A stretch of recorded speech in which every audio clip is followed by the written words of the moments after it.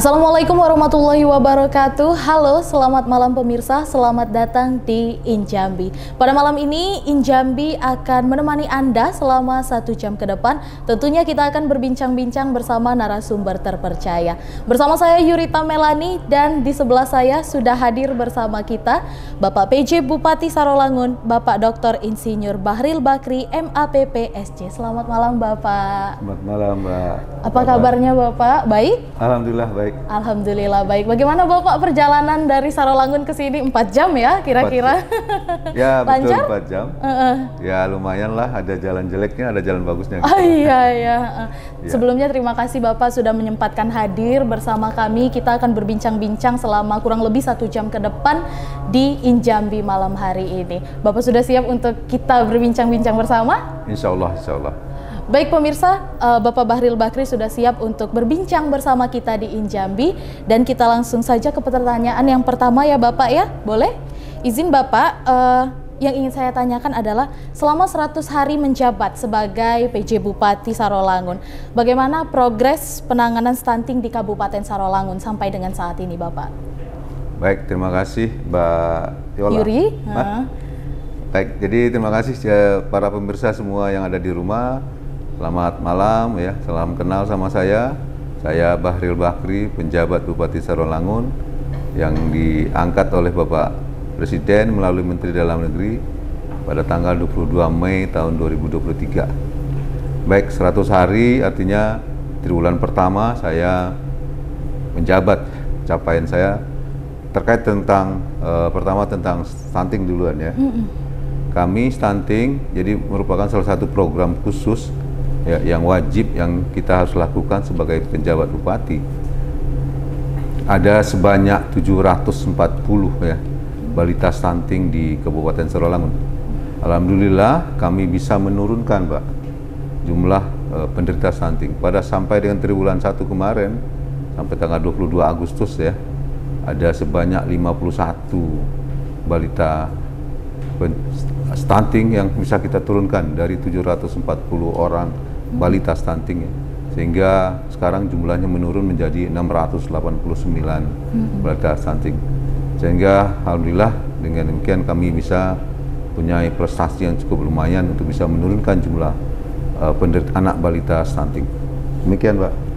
Baik Bapak, dari tadi sekitar 740 balita penderita stunting di triwulan pertama ini sudah eh, 51 balita stunting yang berhasil ditangani oleh Kabupaten Sarolangun, terutama Dinas Kesehatan Kabupaten Sarolangun ya Bapak. Ini menjadi eh, awal baru yang baik ya Bapak untuk kita eh, sebagai apalagi Bapak sebagai PJ Bupati Sarolangun dalam penanganan stunting. Harapan ke depannya mungkin berarti eh, di triwulan ketiga angka stunting bisa sangat menurun drastis ya Pak ya. Baik Bapak selain stunting eh, kita juga akan berfokus pada inflasi. Nah, di, eh, so- seperti apa penanganan inflasi di Sarolangun sejauh ini Bapak? Boleh diceritakan? Baik, saya baik, makasih untuk sebelum saya masuk ke, ke inflasi, saya sedikit juga bercerita tentang strategi ataupun cara saya menurunkan angka stunting. Jadi saya punya satu jargon yaitu telusuri ya, telur, susu dan roti serta beras. Jadi ini adalah salah satu eh, cara saya menanganinya. Jadi saya tidak hanya sifat seremonial apabila eh, melakukan kegiatan stunting. Jadi langsung kami berikan telur, ya langsung ada telur yang sifatnya masak bisa kita berikan langsung memberikan Oke. makanan langsung kepada bayinya, susunya juga, roti dan beras ya. Dan itu sangat efektif eh, bisa menurunkan angka stunting dan selalu juga dalam pertemuan kami sampaikan bahwa bantuan yang kita berikan bukan untuk ibunya tapi kita prioritaskan kepada bayinya Betul. itu ya itu yang saya ingin sedikit menjelaskan yang kedua tentang pertanyaan tentang inflasi, Inflasi. ya ah. inflasi alhamdulillah kami selalu bisa mengendalikan inflasi yang ada di Kabupaten Sarolangun banyak cara yang kita lakukan ya. Kami melakukan gerakan pasar murah ya. Melakukan pendataan setiap hari ya eh, terhadap eh, harga-harga sembilan bahan pokok ataupun ada 20 jenis bahan komoditas yang kita pantau sebagaimana yang diharapkan oleh eh, BPS ya. Jadi kami melakukan pengendalian terhadap harga-harga yang uh, di pasaran ya tidak melebihi harga eceran tertinggi. Dan kami juga uh, melakukan uh, apa uh, sekarang kami menyediakan ya lahan uh, atau labor inflasi. Ada tiga hektar tanah yang kita gunakan untuk uh, sebagai uh, pengendali inflasi. Apabila terjadi kenaikan harga terhadap uh, komoditas tertentu kami melakukan penanaman terhadap jenis komoditas tersebut kami bisa mengontrol. Jadi untuk karena Kabupaten Sorolangun bukan menjadi salah satu 90 kota yang dinilai uh, uh, tingkat inflasinya, kami hanya hmm. mengendalikan indeks perkembangan harga namanya. Alhamdulillah kami uh, bisa mengendalikan dan data terakhir kami mendapatkan dana insentif untuk uh, keberhasilan kami uh, dalam mengendalikan uh, inflasi di Kabupaten Sarawangun. Baik Bapak, luar biasa sekali untuk penanganan stunting dan juga pengendalian inflasi sejauh ini ya Bapak. Terkait dengan dua hal tersebut tentunya tidak terlepas dari bagaimana permasalahan masyarakat miskin ekstrim. Apa uh, sejauh ini langkah yang dilakukan oleh pemerintah Kabupaten Sarolangun dalam permasalahan masyarakat miskin ekstrim ini Bapak? Boleh dijelaskan? Baik, miskinan ekstrim memang uh, kami terdapat ada sejumlah 4.904 uh, kepala keluarga uh, yang termasuk uh, kemiskinan ekstrim ya. Jadi kemiskinan yang rata-rata pendapatannya di bawah 11.200 uh, per hari. Ya, jadi uh, itulah yang menjadi uh, data kami dan sampai saat ini kami telah uh, apa mengintervensi ya terhadap sebanyak 664 klub kepala keluarga. Sudah hampir kurang lebih 14 persen uh, jumlah kepala keluarga yang sudah kita uh, intervensi. Itu di triwulan 1 ya sampai dengan 22 Agustus. Namun sampai saat ini kita sudah meningkat terus untuk bisa mengintervensinya dan kami uh, melakukan kan door to door ya hmm. kepada kepala keluarga miskin tersebut memberikan bantuan langsung berupa beras, uh, minyak, uh, telur uh, dan susu. Gula juga kita uh, berikan kepada keluarga miskin tersebut. Dan kita punya data by name, by address uh, jumlah keluarga kepala keluarga miskin tersebut ya.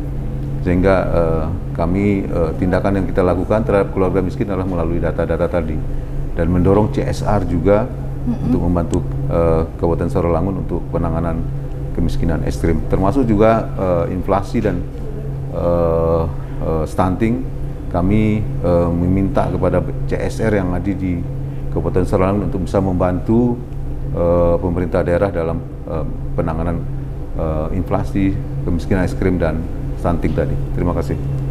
Baik, Bapak.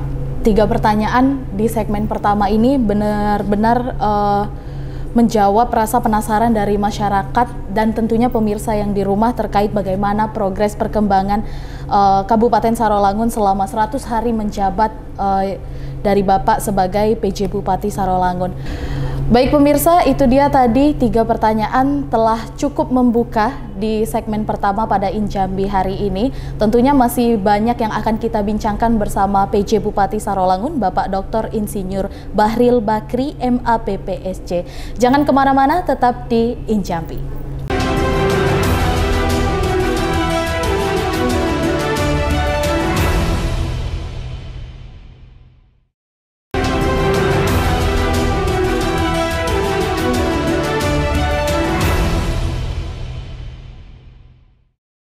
Halo pemirsa, selamat datang kembali di Injambi. Masih bersama saya Yurita Melani dan tentu saja narasumber kita Bapak Bahril Bakri selaku PJ Bupati Sarolangun. Baik pemirsa, kita akan kembali berbincang bersama dengan Bapak Bahril Bakri di segmen selanjutnya, yakni terkait dengan program yang akan dicanangkan untuk pembinaan suku anak dalam di Kabupaten Sarolangun Bapak. Mengingat Kabupaten Sarolangun merupakan kabupaten yang memiliki uh, yang atau ditempati oleh suku anak dalam ini. Boleh dijelaskan Bapak bagaimana program yang Bapak canangkan untuk uh, pembinaan suku anak dalam ini Bapak? Baik, terima kasih ya. Ini sangat menarik pertanyaannya nih ya. Ini salah satu memang menjadi perhatian saya sebagai PJ ya karena saya merasa melihat bahwa uh, suku anak dalam salah satu juga masyarakat kita ya yang perlu menjadikan perhatian uh, bagi uh, dari pemerintah daerah. Saya uh, sebagai PJ ya kami telah melakukan beberapa kegiatan. Ya. Jadi ada satu jargon juga yang kita tetapkan untuk uh, pembinaan ataupun pemberdayaan masyarakat suku anak dalam. Kita menggunakan istilah Lentera SAD namanya ya. Jadi salah satu singkatan yaitu bagaimana pelayanan terintegrasi secara sejahtera suku anak dalam. Ya, dengan harapan kita bisa mengharapkan ada peningkatan kualitas hidup, uh, kualitas uh, kesehatan, pendidikan uh, bagi masyarakat suku anak dalam. Setiap bulan saya datangin uh, uh, penduduk di suku anak dalam khususnya uh, sekarang nih saya ada di Kecamatan Air Hitam dan saya juga sudah ke kecamatan di Batin 8 juga mm -hmm. ada. Uh, dan juga sebenarnya ada juga di daerah uh, Limun ya. Uh, saya belum ke sana. Tapi jadi ini bagi khusus keuangan alam kami melakukan beberapa kegiatan. Pertama adalah apa uh, membina mereka dalam uh, kegiatan pertanian tanaman pangan hortikultura mm -hmm. ya dan melakukan uh, pemberian bantuan juga ya mm -hmm bekerja sama dengan CSR yang ada di sana ya uh, untuk membantu uh, meningkatkan mereka uh, dalam pemahaman tentang pertanian, ya, mendorong mereka agar bisa meningkatkan uh, uh, pendidikan sekolahnya juga gitu. Dan kita melakukan pengobatan gratis juga ya. Ada juga penghijauan yang kita lakukan ya dan uh, minta kepada seluruh SKPD ataupun OPD yang ada di uh, Kabupaten Suralangun untuk mempunyai program-program uh, yang uh, yang yang dalam rangka pengembangan uh, ataupun pemberdayaan uh, masyarakat suku anak dalam. Itu yang kita lakukan, Mbak. Baik. Baik Bapak, berarti di sini program utama yang akan dicanangkan kepada suku anak dalam adalah terwujudnya suku anak dalam yang terfasilitasi baik dalam uh, segi pertanian, pendidikan, bantuan maupun kesehatan ya Pak ya. Oke. Ya, betul demikian. Karena suku anak dalam juga adalah uh, warga negara Indonesia yang mereka sama dengan kita semua ya. Kita berharap mereka bisa merubah kebiasaan mereka ya sehingga mereka lebih bisa maju dan lebih baik gitu kehidupan mereka gitu. Betul sekali. Demikian, terima kasih. Sesaat lagi Bapak, uh, dalam kurun waktu sekitar tiga bulanan lagi kita akan memasuki tahun 2024. Tahunnya pemilu ya Bapak ya. Nah, dalam mendukung suksesnya pemilu serentak 2024 mendatang, tentunya juga butuh partisipasi pemerintah Kabupaten Sarolangun yang juga masih dalam kepemimpinan Bapak selaku PJ Bupati Bat PJ Bupati Sarolangun. Nah, salah satu yang menjadi highlight kita pada saat ini adalah mengenai perekaman EKTP untuk pemilih pemula. Pertanyaannya adalah Bapak sejauh ini progres perekaman EKTP di Kabupaten Sarolangun untuk pemilu pemula sudah berapa persen? Boleh dijelaskan? Baik. Terima kasih Mbak atas pertanyaannya ya. Jadi eh, Kabupaten Sarolangun ini mempunyai jumlah penduduk sebanyak 300.460 jiwa ya. Dan eh, wajib KTP kita tuh ada sebanyak 210.089. Dan sampai saat ini ya eh, khusus untuk pemilih pemula kita tuh ada sebanyak jumlah pemilih pemula itu sebanyak 5.414 jiwa Nah, dari 5.414 jiwa tadi yang belum itu adalah sebanyak 2.771 jiwa ya. Dan total DPT kita ya eh, data terakhir ini sebanyak 209.632 jiwa. Jadi sebenarnya eh, masih ada ya kurang lebih memang eh, eh, 5, 45 persenan lah ya yang eh, pemilih pemula yang belum uh, punya KTP. Namun demikian kami ya saya selalu meminta kepada uh, kepala dinas uh, uh, penduduk ya uh, Dukcapil untuk melakukan pendataan, mengejar, menjemput bola sehingga pada saatnya nanti seluruh pemilih pemula bisa mendapatkan KTP ya. Memang ada kesulitan uh, dalam pendataan ini karena ada beberapa tempat yang tidak bisa terjangkau sinyal gitu. Mm -hmm gitu Pak. Jadi namun demikian kita akan lakukan uh, bisa uh, uh, semua uh, diharapkan para pemilih pemula bisa mendapatkan KTP. Baik, oke Bapak. Uh, tadi kita sudah bahas dengan melalui pendataan, terus kemudian ada jemput bola untuk uh, terlaksananya uh, jumlah DPT yang sesuai ya Pak ya di tahun ini, terutama untuk pemilih pemula. Masih mengenai pemilu Bapak, uh, terkait pelaksanaan pemilu 2024 yang aman, dalam rangka menjamin hal tersebut, apa yang nantinya akan dilakukan oleh Pemkap Sarolangun? Baik, makasih ya. Terkait dengan uh, apa agar pemilu uh, dapat aman gitu ya. Hmm ya, kami pertama sudah melakukan uh, koordinasi ya dengan Forkopimda ya, uh, DPR, uh, Polres ya, dan juga Dandim uh, bersama KPU ya kita melakukan uh, rapat koordinasi itu minta komitmen bersama untuk menjaga stabilitas agar uh, pemilu uh, berjalan aman dan damai serta langsung umum bebas dan rahasia ya. Mm -hmm jadi uh, itu yang kita uh, lakukan ya untuk komitmen bersama Forkopimda uh, dalam mengamankan dan mensukseskan pemilu. Yang kedua adalah kita terus-menerus melakukan sosialisasi, Pak, mm-hmm. kepada masyarakat ya. Saya kemarin juga sudah uh, melakukan apa menghimbau ya, kepada masyarakat ya, melalui uh, radio ya, juga website kami ya, untuk uh, agar pemilu damai uh, aman. Pada SN juga kami minta uh, netral ya karena memang kita diminta agar seluruhnya ASN ya netral uh, dan tidak melakukan uh, uh, politik praktis gitu Pak. Ya jadi dan juga kami uh, bersama dengan forum uh, komunikasi koordinasi uh, forum uh, komunikasi umat beragama FKUB juga uh, mendorong agar bisa mem, men, men, apa, melakukan mendorong agar pemilu bisa berjalan aman, damai dan uh, luber gitu. Demikian saya lakukan. Baik Bapak, berarti berbagai upaya telah disiapkan agar nantinya pemilu 2024 berjalan dengan aman. Tentunya tetap mengedepankan asas luber judil dan tetap damai baik dari segi keagamaan maupun uh, segi kemasyarakatan. Baik Boleh. Bapak. Jadi saya tambah dikit, oh, ya iya, betul Mbak. Jadi selalu sosialisasi saya di dalam pertemuan-pertemuan ya dalam kegiatan Jumat uh, keliling ataupun juga subuh keliling ya saya memang uh, melakukan uh, pertemuan dengan masyarakat, uh, himbauan selalu minta kepada masyarakat untuk menjaga stabilitas uh, politik dan keamanan, uh, khususnya untuk uh, menghadapi pemilu, uh, sehingga nanti pemilu bisa berjalan aman dan damai serta berlangsung secara umum, langsung umum bebas dan rahasia di Kabupaten Sarolang. Demikian.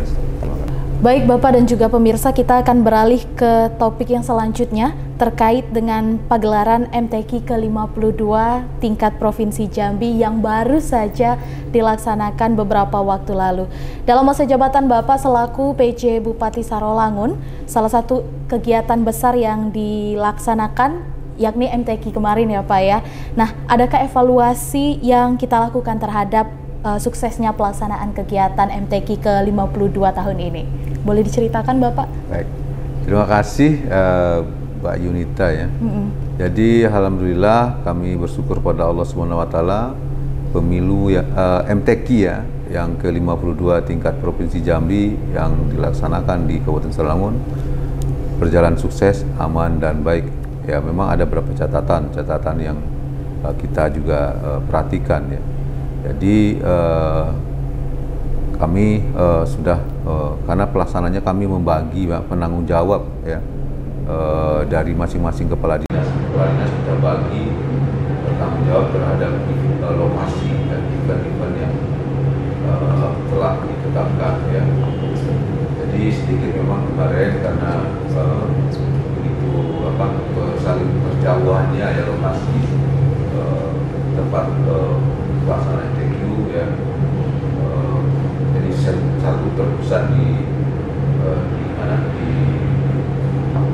di lapangan bank namun beberapa event perlombaan ada di beberapa tempat yang jauh itu sedikit memang persiapan agak sedikit terganggu namun itu semua bisa kita tangani.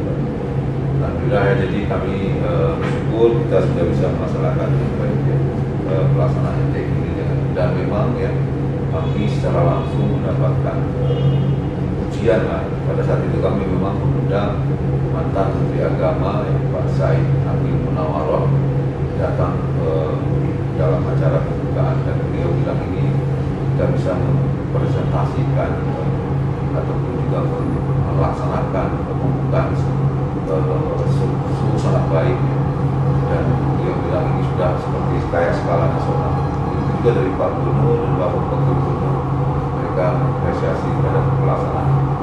Terhadap beberapa kekurangan kami melakukan evaluasi dan untuk masalah keanggaran juga kami minta betul-betul diaudit betul ya uh, uh, oleh uh, inspektorat ya kami juga berkoordinasi dengan aparat penegak hukum lainnya untuk memastikan bahwa anggaran yang dikeluarkan itu sesuai dengan yang digunakan. Jadi tidak ada yang uh, di luar itu betul-betul kita tidak akuntabel di pelaksanaannya.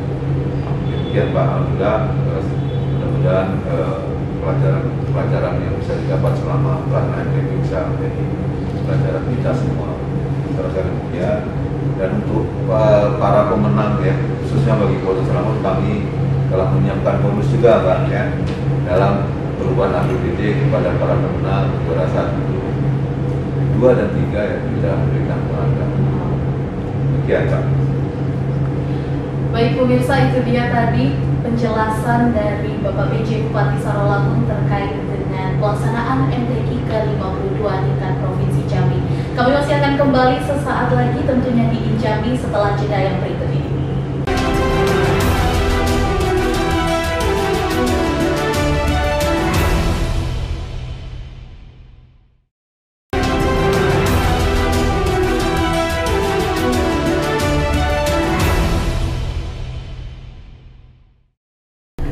Terima kasih pemirsa Anda masih bersama kami di Injambi dan kita akan lanjutkan untuk berbincang-bincang bersama Bapak PJ Bupati Sarolangun.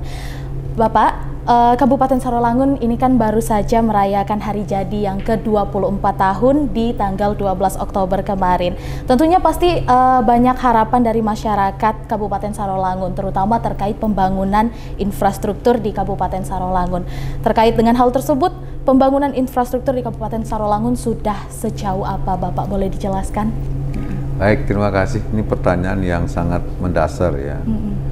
Jadi memang ini uh, memang bagian fokus pemerintah daerah ya terkait dengan infrastruktur, khususnya jalan ini ya. Mm -mm. Jadi kami ini bapak uh, para pemirsa semua di rumah ya, jadi uh, 44,5 persen itu kondisi jalan di kita itu disebut rusak berat mm -mm. ya, dan uh, sisanya itu adalah rusak ringan, uh, sedang dan baik. Yang baik cuma hanya 21,6 persen dari total uh, panjang jalan kita tuh sepanjang 1167,82 km. Uh, jadi uh, pemirsa ya uh, bagian uh, ini menjadi fokus kami sebagai PJ ya. Dan saya minta kepada uh, kepala dinas PU ya untuk uh, melakukan apa uh, pembangunan ya uh, dan melaksanakan seluruh kegiatan uh, pembangunan jalan ini secara baik ya.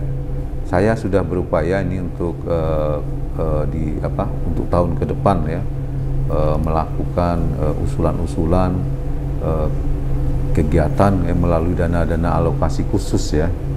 Jadi uh, kemarin saya ke Kementerian PU ya uh, sudah uh, berkoordinasi ya agar kita mendapatkan DAK ataupun juga bantuan-bantuan impres lah dari pemerintah pusat ya. Sehingga bisa membantu kita untuk uh, memperbaiki infrastruktur jalan kita. Dan juga di tingkat provinsi kami juga sudah ke balai jalan yang ada di Jambi ini hmm. Pak ya. Kita di uh, apa uh, untuk jumlah apa DAK kita di tahun 2000 2023 ini kita mendapatkan dana DAK dari pemerintah pusat pembangunan jalan di Pulau Pandan ke Pancakarya itu sepanjang 4,52 km dengan nilai uh, anggaran sebesar 18 miliar 519 juta 966 ribu. Uh, jadi uh, kami tetap berupaya untuk bisa uh, memperbaiki kondisi jalan infrastruktur yang ada di Kabupaten Sarawangun karena kami menyadari untuk pertumbuhan ekonomi uh, dibutuhkan jalan yang baik ya. perkembangan ekonomi wilayah ataupun daerah di Kabupaten Sarawangun sangat membutuhkan uh, jalan dan infrastruktur yang baik. Sudah ada uh, kami juga mendapatkan bantuan dari pemerintah provinsi ya. Saat ini kita uh, ada beberapa tempat di uh, Kabupaten Sarawangun yang sumber pendanaan uh, uh, perbaikan jalan sesuai kewenangan uh, dari provinsi kami mendapatkan di daerah Batang Asai kita juga uh, uh, apa uh, melihat ada uh, pembangunan jalan uh, dari uh, anggaran uh, provinsi. Jadi kita berharap uh, kondisi jalan di Kabupaten Sarawangun dari ta tahun ke tahun bisa uh, menjadi lebih baik gitu. Saya rasa demikian, Mbak. Baik Bapak, di 100 hari menjabat sebagai PJ Bupati Sarolangun, target kerja ke depannya mulai dari realisasi APBD dan serapan PAD seperti apa? Boleh diceritakan Pak? Baik, terima kasih ya. Jadi eh, kita ya, eh, Kabupaten Sarolangun eh, total APBD kita itu sebesar 1 miliar 1 triliun 296 miliar hmm 18.191.826 dan eh, sampai saat ini ya eh, realisasi kita kalau kita sekarang tang, eh, tanggal berapa nih tanggal eh, 14 ya 14 eh, Oktober kita sudah eh, untuk realisasi belanja belanja kita sudah 60,54 persen jadi eh, saya ya sebagai PJ sudah mengingatkan ya wanti-wanti sejak awal saya menjabat PJ ya di minggu pertama saya meminta ya kepada seluruh perangkat daerah untuk men, apa merealisasikan anggaran APBD semaksimal mungkin, seoptimal mungkin ya. E, namun tetap e, harus e, memperhatikan akuntabilitas dan uh, manfaat serta output daripada uh, realisasi tersebut ya. Setiap minggu saya ya saya men-share itu capaian realisasi uh, uh, setiap SKPD saya lakukan. Saya minta jangan sampai realisasi belanja itu lebih kecil dari tahun lalu. Dan saya ini menjadi perhatian saya ini bagian penilaian kinerja para uh, perangkat kepala perangkat daerah ya saya tidak main-main tentang realisasi ini karena ini juga menjadi perhatian uh, Menteri Dalam Negeri kepada kami agar uh, realisasi belanja ini harus betul-betul terrealisasi semaksimal mungkin atau seoptimal mungkin ya. Karena ini akan berpengaruh kepada uh, perkembangan ekonomi di daerah uh, itu ya. Jadi uh, saya selalu memantau terhadap realisasi ini kepada setiap SKPD saya minta cermati uh, setiap kegiatan. Lakukan segera pengadaan barang dan jasa monitoring dan evaluasi. Pantau sampai ke tingkat level uh, pelaksana di, oleh setiap kepala SKPD ya pastikan realisasi bisa mencapai hasil yang baik yang tinggi sesuai target yang diharapkan. Target dari pemerintah Kementerian Dalam Negeri minimal 90 persen kami berharap juga target ini bisa tercapai gitu. Terima kasih Pak, demikian yang bisa saya sampaikan.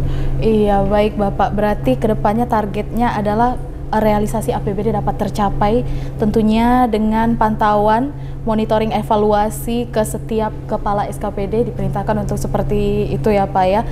Baik Bapak kita akan tarik kilas mundur sebentar ya Bapak uh, terkait dengan yang kita ketahui bersama bahwa Bapak merupakan PJ Bupati yang ditunjuk langsung dari Kementerian Dalam Negeri. Bagaimana usaha Bapak terkait hal ini untuk dapat menggait anggaran dari pusat untuk pembangunan di Kabupaten Sarolangun? Boleh dijelaskan Bapak? Oke, terima kasih ya. Eh, saya adalah uh, Kepala Biro Perencanaan Kementerian Dalam Negeri ya jadi salah satu uh, pejabat yang berkaitan dengan uh, koordinasi ya program dan kegiatan uh, di Kementerian Dalam Negeri. Jadi uh, bagaimana saya men bisa menggait ini dana-dana uh, dari pusat ya. Jadi mm-hmm. alhamdulillah karena saya punya banyak hubungan dengan para kepala mm-hmm. biro perencanaan dan juga uh, dengan Bappenas ya. Iya. Karena selama ini memang saya tugasnya adalah uh, berkoordinasi dengan Bappenas dan uh, dengan para biro-biro kepala biro dari kementerian dan lembaga. Jadi cara saya menariknya adalah uh, uh, men mengkoordinasikan ya dan saya langsung uh, melakukan pertemuan dengan para kepala biro ya, uh, kementerian uh, kementerian yang ada ya hmm. khususnya uh, berharap agar dana alokasi khusus yang ada di setiap kementerian lembaga ya saya kemarin ke Kementerian PU ya uh, ke, dan saya bisa bertemu ada tiga direktur ya mm-hmm. ataupun juga dengan kepala biro perencanaannya langsung dari Kementerian mm-hmm. PU uh, eh, untuk bisa uh, bermohon pada mereka agar dana alokasi khusus yang ada di Kementerian PU itu bisa dialokasikan kepada uh, Kabupaten Sarolangun dan juga kepada Kementerian Kesehatan. Saya berlangsung mm-hmm. juga ketemu sama Kepala Biro Ibu Kepala Biro Kementerian Kesehatan ya Biro Perencanaan dari Kementerian Kesehatan untuk bisa membantu kami dalam uh, dana alokasi khusus uh, uh, bidang kesehatan ya. Nah, juga kami berkoordinasi dengan Bappenas ya yang yeah. mengkoordinasikan anggaran uh, kaitannya dengan, dengan dana alokasi khusus. Jadi uh, mungkin nanti ke depan karena uh, uh, ke depan kita akan masuk ke periodisasi uh, tahun perencanaan 2025. Hmm. Saya sudah minta kepada seluruh uh, kepala dinas saya yang terkait untuk menyusun proposal sebanyaknya dan nanti proposal kita akan bawa ke Jakarta untuk bisa berkoordinasi dengan kementerian-kementerian yang ada uh, dalam uh, yang ada anggarannya untuk uh, dialokasikan ke pemerintah daerah melalui dana alokasi khusus ataupun tugas pembantuan yang ada di uh, di daerah atau di, di, kementerian lembaga tersebut. Kami berharap mudah-mudahan dengan uh, memang saya sebagai kepala biro perencanaan bisa berharap uh, ada peningkatan dana-dana alokasi dana-dana yang dari pusat ke ke Kabupaten Sarolan khususnya gitu. Saya rasa demikian. Terima kasih. Wow, berarti uh, bisa dibilang ini adalah suatu privilege bagi Kabupaten Sarolangun mempunyai PJ Bupati yang dulunya merupakan Kepala Biro Perencanaan ya betul Bapak ya, yang memang langsung terintegrasi dengan Bappenas, Biro Perencanaan dan lain-lain dalam hal ini adalah pemerintah pusat untuk dapat menggait anggaran demi pembangunan di Kabupaten Sarolangun. Baik pemirsa, kita masih akan berbincang di segmen terakhir dengan Bapak PJ Bupati Sarolangun. Jangan ke mana-mana, tetap di Injambi.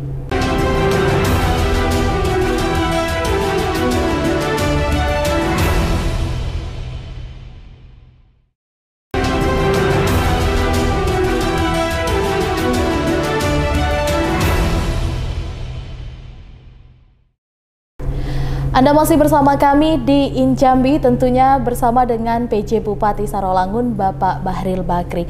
Baik pemirsa, uh, Bapak Bahril Bakri ini merupakan salah satu PJ Bupati terbaik dari tiga PJ yang ada di Provinsi Jambi berdasarkan hasil evaluasi dari Kementerian Dalam Negeri. Terkait dengan hal tersebut, Bapak, bagaimana Bapak menyikapi kepentingan elit politik menjelang pemilu ini? Aduh, terima kasih banyak Mbak ya. Hmm disebut terbaik ya, tapi hal ini semua tidak lepas dari hasil kerjasama kami dengan seluruh kepala OPD yang ada di uh, pemerintah daerah Kabupaten Sarolangun ya. Kami memang uh, mencoba menjaga apa, menjaga selalu uh, kebersamaan kami, Pak, uh, dengan seluruh kepala OPD ya. Kita bekerja bersama ya dan selalu melakukan koordinasi-koordinasi, rapat koordinasi ya kami menciptakan suasana yang uh, baik ya, uh, agar uh, para kepala UPD bekerja dengan baik ya. Jadi prestasi yang kita kami dapatkan bukan karena kami sendiri, itu juga adalah uh, peran ataupun partisipasi dari seluruh kepala OPD yang ada di Kabupaten Sarolangun. Alhamdulillah kami bisa bekerja sama dengan baik ya dan mereka semua juga mendukung kami untuk bisa mencapai hasil yang sebaik mungkin. Terkait dengan tadi pertanyaan Mbak uh, adanya kepentingan politik ya uh, dari elit politik khususnya hmm. ya. Jadi kami menegaskan di sini Bapak uh, para pemirsa semua kami adalah ASN ya. Kami bukan uh, orang politik ya. Hmm. Kami itu ditunjuk se ya uh, AS sebagai ASN. Jadi untuk ASN itu sudah ada aturannya.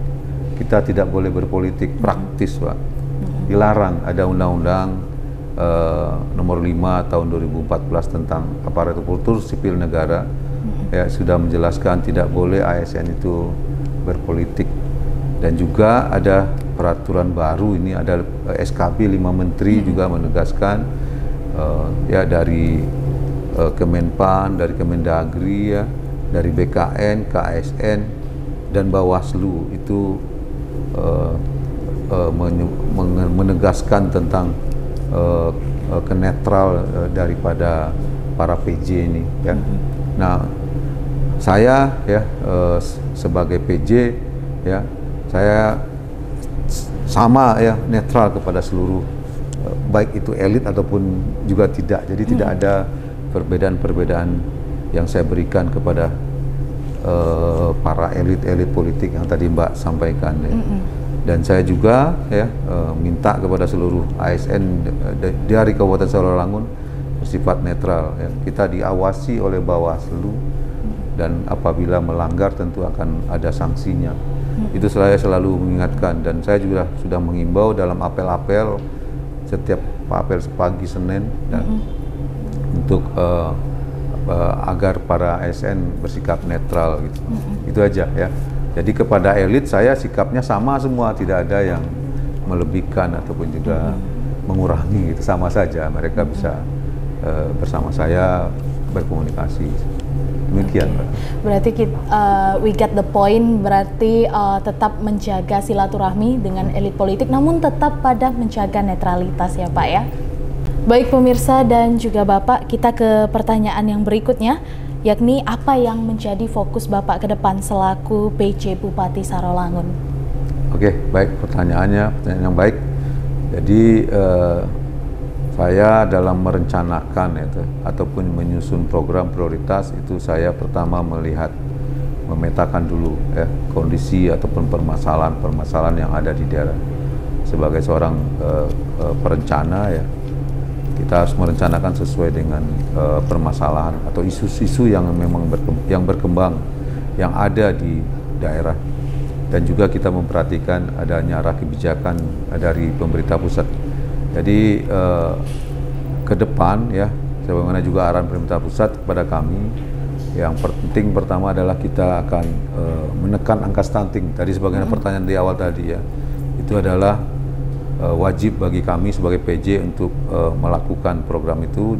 Selain itu juga mengendalikan inflasi, ya, menciptakan agar indeks perkembangan harganya tidak melebihi standar uh, nasional dan juga penekanan angka kemikis, kemiskinan ekstrim. Kita menurunkan angka kemiskinan ekstrim.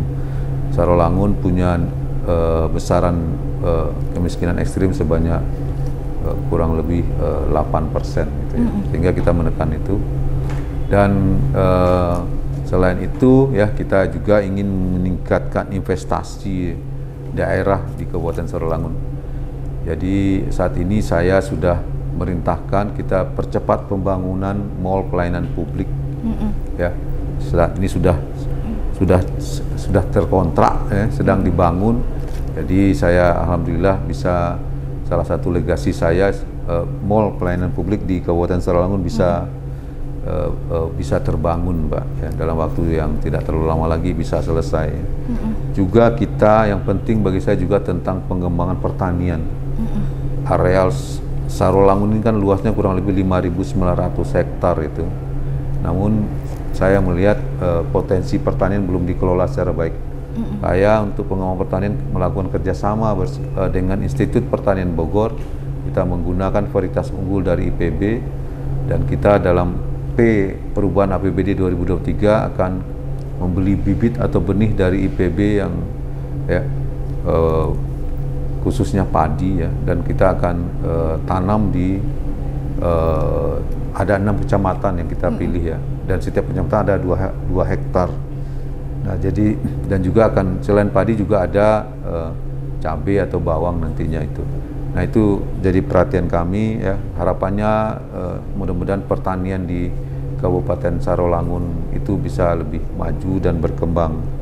Dan juga uh, mengenai pem, pembangunan sarana prasarana air bersih dan sanitasi saya melalui perubahan APBD juga akan membangun beberapa lokasi sarana air bersih ataupun juga sanitasi MCK di beberapa kecamatan dan desa dan juga uh, adalah penurunan angka pengangguran di tingkat desa melalui pelatihan-pelatihan uh, uh, di desa dan kita sudah mencatat uh, mendata penduduk-penduduk uh, yang menganggur uh, di tingkat desa. Mm. Nah juga nanti ke depan kita mencoba bagaimana penanggulangan penanganan kebakaran hutan dan lahan ini oh, ya. Uh, kami itu punya 215 hotspot ya. Dan untuk itu uh, kami uh, berlalu, berkoordinasi dengan uh, Polres ya dan TNI dan juga saya minta para camat dan kepala desa untuk ikut terlibat uh, menangani uh, uh, kebakaran hutan lahan. Ini ini salah satu sekarang juga yang sangat serius di Jambi. Jadi kami uh, minta kepada seluruh uh, masyarakat dan juga pihak-pihak terkait agar dapat mencegah terjadinya kebakaran hutan dan lahan uh, di wilayah Kabupaten Sarolangun itu antara lain ya. Iya. Dan untuk ASN juga saya mendorong agar ASN juga ya e, meningkatkan kinerjanya ya, berintegritas ya e, dan juga profesional ya. Dan saya berharap bisa-bisa mudah-mudahan kita bisa menerapkan core values ASN berakhlak itu ya, berorientasi pelayanan, akuntabel, uh, akuntabel, uh, kompeten ya harmonis, loyal, ya, adaptif dan kolaboratif. Iya. Itu ya ASN ini adalah uh, kunci uh, juga untuk keberhasilan uh, Kabupaten Sarolangun. Baik, luar biasa sekali Bapak dari uh, 1, 2 sampai 9 poin ada yang saya catat ini ternyata sangat tertata dan kompleks sekali fokus ke depan Bapak sebagai PJ Bupati Sarolangun ini menjadi catatan penting bagi saya dan juga mungkin bagi masyarakat Sarolangun yang sedang menonton di sini karena ini merupakan uh, fokus yang benar-benar menyentuh seluruh aspek di masyarakat. Ya dikit lagi juga tambah Mbak. Hmm. Jadi mungkin selain itu juga yang saya juga lupa tadi kita juga berfokus kepada pengembangan sumber daya manusia Pak, peningkatan uh, pendidikan. Sekarang kita memang eh, rata-rata uh, ya lama sekolahnya uh, uh, di Kabupaten Sarolangun itu 8,12 tahun baru tingkat SMP. Mm-hmm. Nah kami berharap bisa lebih meningkat di tahun ini mm-hmm. ya, dan tahun ke depannya. Yang kedua juga masalah pengembangan kesehatan juga menjadi perhatian kami khususnya posyandu dan puskesmas kita mm-hmm. akan coba dorong untuk bisa uh, ditingkatkan uh, sehingga mereka uh, sehingga bisa meningkatkan uh, kualitas pelayanan kesehatan uh, di tingkat desa dan di tingkat kecamatan. Demikian, terima kasih. Baik Bapak, kita sudah berada di penghujung segmen. Satu pertanyaan terakhir sebagai penutup, apa harapan Bapak untuk masyarakat Sarolangun di kepemimpinan Bapak saat ini? Boleh dijelaskan? Baik, uh, saya berharap mas, uh, masyarakat di Kabupaten Sarolangun bisa bekerja sama dengan saya Mari kita jaga uh, stabilitas, keamanan sosial. Mari kita sama-sama membangun Sarolangun, ya, uh, sehingga kita Sarolangun lebih baik, lebih maju, ya, dan uh, lebih baik ke depan. Jadi harapan saya, uh, mari bersama pemerintah daerah untuk uh, memajukan uh, Kabupaten Sarolangun, menciptakan kondisi uh, yang baik, ya, ya sehingga uh, para investor terutama ya bisa uh, menanamkan ya, investasinya di uh, wilayah Kabupaten Sarolangun ini ya. Kita berharap sama-sama uh, ya, agar Sarolangun lebih baik lebih maju ke depan gitu. Saya rasa demikian. Terima kasih. Wassalamualaikum warahmatullahi wabarakatuh Waalaikumsalam warahmatullahi wabarakatuh. Baiklah pemirsa, tidak terasa sudah satu jam In Jambi menemani Anda berbincang dengan Bapak PJ Bupati Sarolangun. Terima kasih Bapak sudah berkenan hadir di In Jambi pada malam hari ini. Dan pemirsa jangan lupa saksikan In Jambi setiap hari Senin jam 8 malam hanya di JEK TV Inspirasi Kita. Selamat malam.